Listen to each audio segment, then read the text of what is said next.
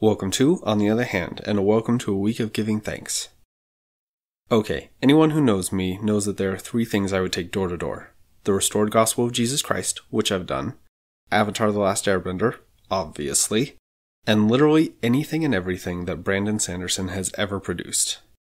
In case you have never heard of him, Brandon Sanderson has written the best fantasy novels of all time, and he manages to publish several books every year. He writes the most compelling characters I have ever read, the coolest magic systems I've ever heard of, and he has set up his best series in an interconnected universe that puts Marvel to shame. And on top of all of this, his books tackle and present the best and most relatable representations of mental illness I have ever come across. And in all seriousness, I have had several powerful insights and spiritually defining moments while reading his books. All this to say, I am grateful for Brandon Sanderson. He is a man with a heart of gold and an inhuman writing speed. He has and continues to entertain, educate, and uplift everyone he can.